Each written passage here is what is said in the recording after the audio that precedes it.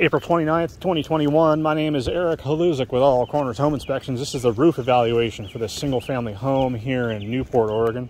As with all the videos in this report, we would request that you view this video as supplemental to the written version of the report to which this video has been attached. At the time of inspection, there were no significant reportable challenges with this single family home's gable and hip style roof. That said, an Oregon home inspection does not include a roof warranty meaning we're not going to make any claims as to this roof's ability to keep water out of the ceiling voids and attic spaces for the living space below. There are companies, typically insurance companies, which will uh, make such claims.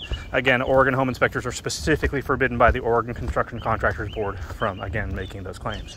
This has been Erik Haluzak with All Corners Home Inspections.